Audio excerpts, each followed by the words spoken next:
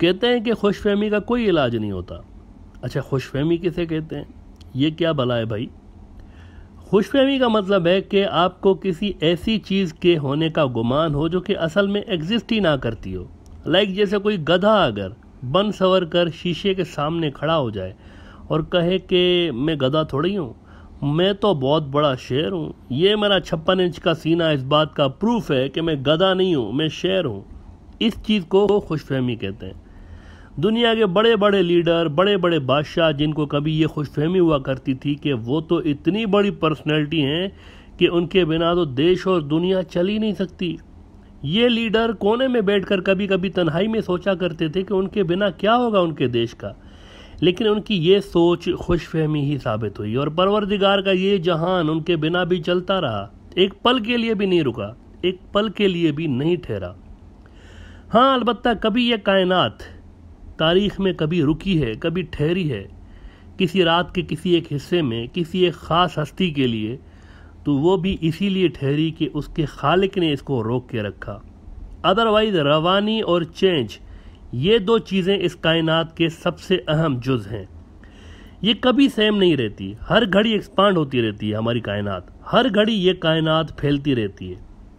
इस्लामी अकीदे के मुताबिक जब इस कायनात के पैदा करने वाले ने यह इरादा किया कि वो एक अजीम व शान और बहुत ह्यूज किस्म की यूनिवर्स बनाने जा रहा है तो उसने इरादा करने के बाद उसे हुक्म किया था, कुन, यानी हो जा, फ़यकून तो वो हो गई।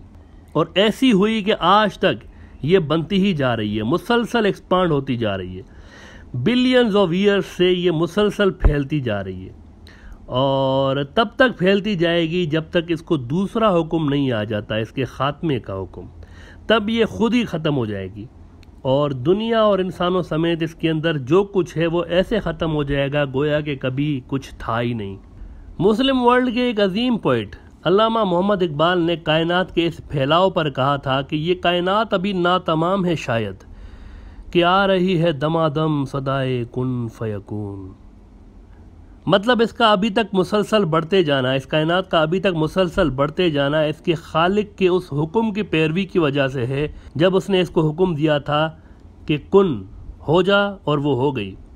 मुसलसल फैलाव यानी मुसलसल तब्दीली दैट मीन्स चेंज जो है, तब्दीली, ये कायनात की नेचर है, और चेंज ही दुनिया की भी फितरत है।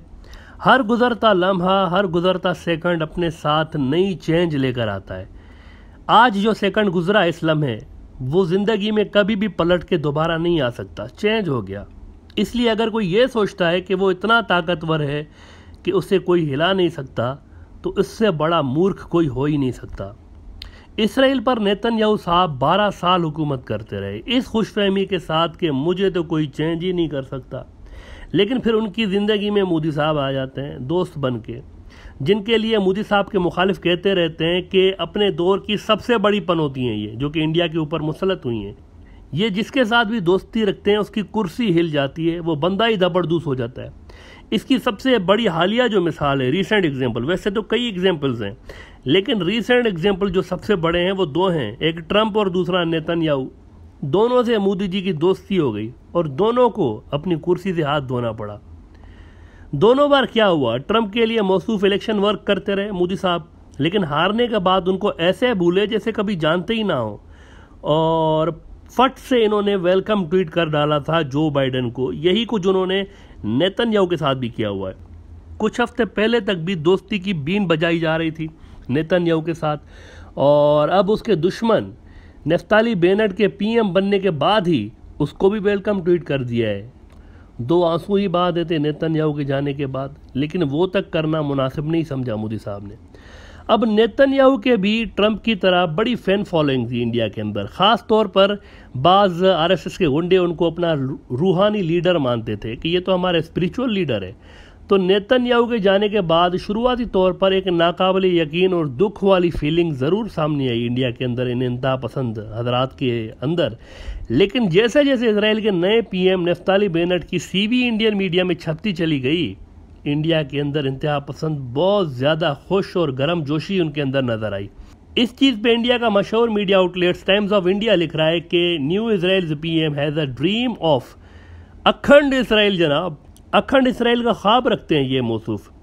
अब आप बताएँ कि इस तरह की चीज़ें देखकर आखिर खुश क्यों नहीं होंगे? वहाँ के इंतहा पसंद कि जो नया बंदा आया है, वो तो और भी ज़्यादा खड़ूस है, नेतन्याहू से। तो ये नई उम्मीद पैदा हो चुकी है इंडिया के अंदर नाउ कि Israel will go hard at Muslims after electing such a ruthless leader तो वहाँ इंडिया के अंदर इंतहा पसंद जश्न मना रहे हैं कि आज यहूदियों का थर्ड टेंपल बना के कल बना। बस आया ही आया अभी तो। अच्छा इंडिया से हमसे भी बहुत सारे दोस्त अहबाब ने पूछा, हमें भी बहुत सारी इंडियन मीडिया की क्लिप्स भेजी गई कि ये क्या चक्कर है? ये क्या लिख रही है इंडियन मीडिया के? उधर थर्ड टेंपल बनेगा तो अखंड इसराइल बनेगा। आप क्या कहते हैं इसके बारे में? इसको ज़रा आप एक्सप्लेन करें। थोड़ा सा अगर आप वैसे डिटेल में इस नई हुकूमत का स्ट्रक्चर देखेंगे ना तो आपको ये एहसास हो जाएगा कि इंडियन मीडिया के अंदर ये जो फजूल किस्म का एक हवा बनाया जा रहा है, इसकी कोई बेसिस नहीं है। अक्सर जो एनालिस्ट हैं, वहाँ इंडिया के अंदर और वो जो अक्सर बात कर रहे हैं, उनको इसराइल के बारे में कुछ पता ही नहीं है। उनको सिर्फ़ वाराणसी और झुमरी तलैया पे फोकस रखना चाहिए। इसराइल उनके बस की बात नहीं है टू बी वेरी ऑनेस्ट अक्सर जो चीज़ें रिपोर्ट हो रही हैं इंडिया के अंदर, उनका कोई सर पैर नहीं है। पढ़ के ही ऐसा महसूस होता है जैसे इसराइल के नए पीएम पर आर्टिकल नहीं लिखा हुआ, बल्कि बॉलीवुड के किसी फ़िल्म के गुंडे का इंट्रो छपा हुआ है। नफ्ताली बेनट बीड़ी नहीं पीता। नफ्ताली बेनट शॉवर की जगह बाल्टी और मगे से नहाता है। रात को लुंगी और बनियान पहनकर सोचता है। सुबह को पापे चाय में डुबो के खाता है। अगर पापा चाय के अंदर गिर जाए तो अपना हाथ कप में डालकर बाहर निकालता है। नफ्ताली बेनट अखंड इसराइल बनाएगा। इसके बाद हम मिलकर अखंड भारत बनाएँगे। नेतन याहू उर्फ़ नेतन पाजी गया तो क्या हुआ? नफ्ताली आ गया है। नरिंदर और नफ्ताली की जोड़ी जिंदाबाद। इस एपिसोड के शुरू में हमने खुशफहमी वाली बात की थी। वो इसी बिहेवियर की वजह से की थी, जो कि इंडियन मीडिया में और इंडिया के जो इंतहा पसंद, वहाँ के जो गुंडे हैं इनके अंदर इस वक्त पाई जा रही है। Now let's come to the reality अब ज़रा हकीकत में आ जाते हैं ना। इंडियन मीडिया में जो छप उसको छोड़ दें आप। इस बंदे की, इसराइलियों के नज़दीक क्या औकात है? ये जो नया पीएम बना है, इसको इसराइली किस नज़र से खुद देखते हैं? इसकी कौम अपनी इसको किस नज़र से देखती है? इंडियन मीडिया ने और इंडिया के अंदर जो गुंडे हैं आरएसएस के और जो भक्त हैं वहाँ के, इन्होंने तो हंड्रेड परसेंट इसको हीरो बना लिया ना, दो मिनट के अंदर अंदर लेकिन 95 परसेंट जो इसराइली हैं, वो खुद इस बंदे को पसंद नहीं करते। कैसे हम कह रहे हैं कि 95 परसेंट बंदे इसको पसंद नहीं करते इसराइल में? हम ऐसे ही कोई बात नहीं करते, हर चीज़ के पीछे कोई ना कोई प्रूफ देते हैं। देखें, इसके खुद के पास सिर्फ़ छः सीटें हैं। इसराइल के 120 सीटों वाली पार्लियामेंट के अंदर इसकी छः सीटें हैं। तो अगर आप छः सीटों की परसेंटेज निकालते हैं तो पाँच परसेंट बनती है। इसका मतलब है कि ये सिर्फ़ पाँच परसेंट इसराइलियों का रिप्रेजेंटेटिव है। इसको सिर्फ़ पाँच परसेंट इसराइलियों ने वोट दिया हुआ है। नाइन्टी फाइव परसेंट इसराइली इसको रिजेक्ट कर चुके हैं। अब ये हाल है। इस बंदे को खुद इसराइलियों ने ये रिजेक्ट किया हुआ है और ये बंदा इंडियन मीडिया के अंदर इसराइल का सुप्रीम लीडर बना हुआ है। और छोटा सा दजाल इसको पहले ही बना दिया इंडियन मीडिया ने कि छोटा सा दजाल आ गया है। अब ये तो थर्ड टेंपल बनाएगा और पता नहीं क्या कर देगा। शुरू शुरू में नेतन की गवर्नमेंट टॉपल करने के खतरे की वजह से ये कुछ पॉपुलर किस्म के डिसीज़न लाजमी करेगा। ये जो बेनट साहब हैं, ये कुछ ऐसे डिसीशन ज़रूर करेगा जो कि एंटी मुस्लिम होंगे। मिसाल के तौर पर ये मुतनाज़ जो यरूशलेम के इलाके हैं, मुसलमानों वाले इलाके, यहाँ तक मार्च की इजाज़त दे सकता है इसराइलियों को। लेकिन लॉन्ग रन में ये अपने इंतहा पसंद आइडियोलॉजी पे कभी भी काम इसीलिए आगे नहीं बढ़ा सकता, क्योंकि इसकी सारी मेन इत्यादि जो है ना, ये सेक्युलर्स हैं। और तमाम इसकी जो अहम वजारतें हैं, वो इनके सेक्युलर इसके अतादियों के पास हैं। मेनली ये शतद वालों के पास ये जो ये शतद पार्टी है, इनके पास। अब इन्होंने 60 सीटें लेकर हुकूमत बनाई हुई है। हुकूमत बनाने के लिए 60 चाहिए, इन्होंने 60 ही ली हुई हैं। आठ पार्टियों ने मिलकर 60 का नंबर पूरा किया हुआ है। इस 60 में से 17 सीटें जो है ना, ये ये शतद वालों की है। और आठ जो हैं, ये बेनी गांड्स की ब्लू एंड वाइट पार्टी की हैं। वही बेनी गांठ जिसको लास्ट इलेक्शन में ये जो चौथे इलेक्शन हुए थे, इसमें नेतन या उन्हें धोखा दिया था पहले कि बेनी गांठ पहले मैं पीएम बनूँगा, उसके बाद तुम पीएम बन जाना। मगर फिर जब इसने धोखा दिया बेनी गांठ को तो उसने अपनी सपोर्ट खींच ली थी। तो बजट पास नहीं हो सका था इसराइल के अंदर और हुकूमत गिर गई थी नेतन्याहू की। और फिर दो साल के अंदर पांचवा इलेक्शन हुआ था, जिसमें ये मौसूफ नफ्ताली बेनट पीएम बन के सामने आया है। ये शतद और ब्लू एंड वाइट पार्टी के अलावा ये इसराइल बेतनो पार्टी है। और फिर लेबर पार्टी है इसराइल की, फिर कहीं जाकर नफ्तारी बेनट की पार्टी कोई पाँचवें नंबर पर आती है। हुकूमत बनाने के लिए साठ सीटें चाहिए, इसके पास भी साठ ही हैं, और इन साठ सीटों में से तीन सीटें जो है ना, ये मंसूर अब्बास की हैं। कौन Mansour Abbas? United Arab party का हेड है, जो कि पहली बार इसराइल की हुकूमत में आई हुई है। यानी इसराइल के जो अंदर जो मुसलमान रहते हैं, उनकी एक छोटी सी पार्टी है, उसकी तीन सीटें भी इस साठ में इंक्लूडेड है। और ये जो अरब पार्टी है, ये हमेशा अपोजिशन में रही है। लेकिन अब ये पहली बार हुआ है कि ये हुकूमत में बैठी है। तो ये अगर अपनी तीन सीटें हटा लेना मुसलमान पार्टी वहाँ की तो जिस बंदे के लिए इंडियन मीडिया कह रहा है कि ये अखंड इसराइल बनाएगा और ये तो पता नहीं क्या चीज़ आ गई, ये हार्ड लाइनर आ गया है, मुँह के बल इसकी हुकूमत गिर जाएगी। अगर मुसलमान इसके जो इतिहादी हैं ना, जिनकी तीन सीटें हैं, वो अपनी तीन सीटें हटा लें ना तो इसकी गवर्नमेंट गिर जाएगी टॉपल हो जाएगी इसकी गवर्नमेंट और अगर ये मुसलमान जो हैं ये नेतन को सपोर्ट कर लेते हैं ना, मंसूर अब्बास वाले। तो नेतन दोबारा से पीएम बन सकता है। अब इस हाल में इंडियन मीडिया और मोदी भक्त जो हैं, इनको अखंड इसराइल नज़र आ रहा है। सोचते समझते कुछ है नहीं। जो मुँह में आया छाप दिया, जो मुँह में आया मीडिया के अंदर बोल दिया, इसराइल की चापलूसी में हद से ज़्यादा गुजर जाते हैं। ये हुकूमत असल में इसराइल के अंदर बाइडन सरकार के आशीर्वाद से बनी हुई है। बाइडन इंतजामिया ट्रंप के दोस्त नेतन के साथ काम करने में दिलचस्पी नहीं रखती थी, इसलिए उन्होंने नेतन को हटा दिया है, क्योंकि वो ईरान के मामले में कॉपरेट नहीं कर रहा था बाइडन के साथ। और इस बात को इंडिया के अंदर पता नहीं कहाँ अखंड इसराइल तो थर्ड टेंपल और वहाँ तक इंडियन मीडिया लेकर गया है। अच्छा जी नेतन बाबू की बोखलाट का ज़रा आप अंदाज़ा लगाएँ, जब से ये प्राइम मिनिस्टर की कुर्सी से हटे, इनका जहनी तोज़ुन थोड़ा सा हिल गया है। आज क्या हुआ है वहाँ?